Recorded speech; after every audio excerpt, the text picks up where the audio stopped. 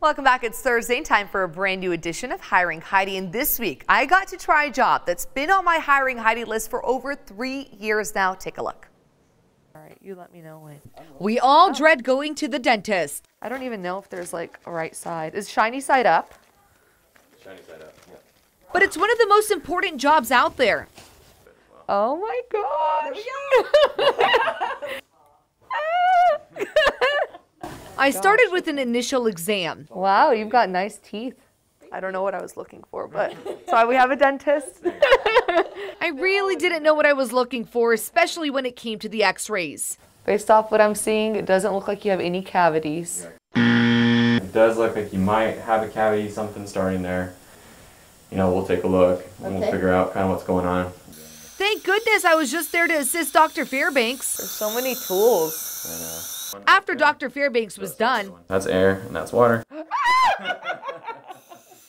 I had to rinse the patient's mouth. Oh my gosh, it's going all over your face. I'm sorry. Dr. Fairbanks had other patients to see, You left me all alone by myself. oh God. so I had to get the polish done on my own. Okay. I don't know if this is a lot. But I went for it. Oh, nice.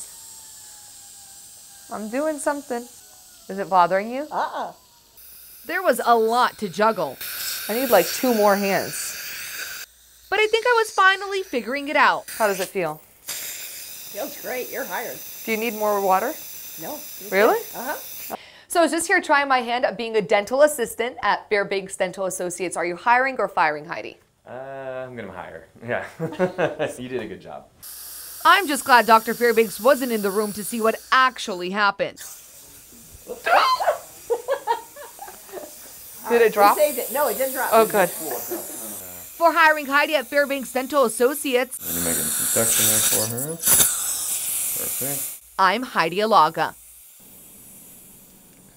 Well, you got hired. Now, I'll, I'll say this: it's a good thing you weren't uh, trying not to be a dentist because I think that's day one of dental school is you got to be able to identify where a cavity is. Yeah, no. Uh, here's the thing Dr. Fairbanks is just way too nice. If you know him as a, as a doctor or if you just know him as a person, he is so sweet. I knew he wasn't going to fire me uh, no matter what I did there. And I'm just glad he wasn't there for some of the rougher parts of that shoot, for sure. Yeah, and dental work runs in the family. We know your sister is a dentist, and I do not think that she would have been as kind. No, she would have fired me. You know what's funny is that I posted a picture, you know, leading up to this this hiring Heidi, and she said if my assistant held the section like that, I would have just fired them on the spot. And I was like, I know, I know. This job was fun, but it's not meant for me.